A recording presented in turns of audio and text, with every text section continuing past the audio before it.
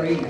And remember, it has always been said, when the health of a woman collapses, the health of the family where she lives collapses as a consequence. Dr. Novello was kind enough to talk to us. Maternal and child health um, is one of the most under-recognized problems. It's an unfortunate fact. She spoke about um, healing the wounds of war and talking about infrastructure, female genital mutilation. This is the way that it's happening. The girls are put like in a little line and someone without their hands washed, the neighborhood watching in dirt, puts the basic organs of your life.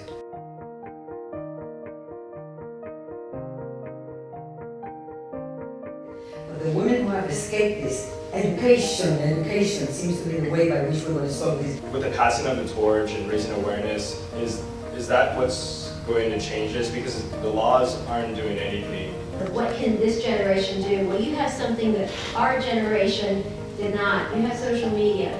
I can be in the middle of nowhere in northern Ethiopia and there, everybody has a cell phone. Start to develop social campaigns that can help educate in a culturally sensitive way to help reach the people in these communities, to encourage education.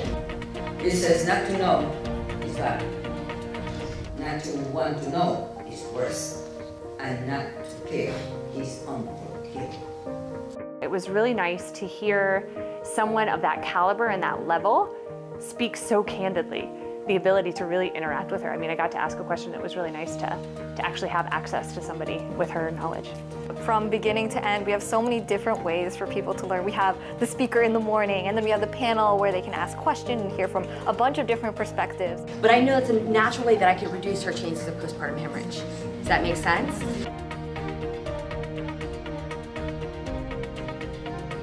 Having a way of being able to say, how could I manage it, even in the most rural setting, that this is a natural process and that they can use these tools to help facilitate decreasing the risk for postpartum hemorrhage.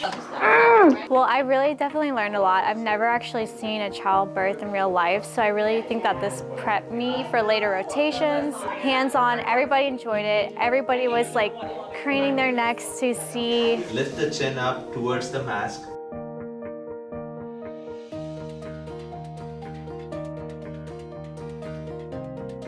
And there's a lot of things in maternal and child health care that could be prevented with easy, cost-effective interventions that people just don't know about or that aren't being used.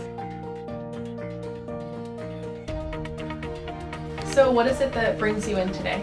Part of it, no matter what the theme is, um, is really being able to work together um, towards a common goal. We have like dozens of people that have been working on this for months now, um, and it's really exciting to see it all come together.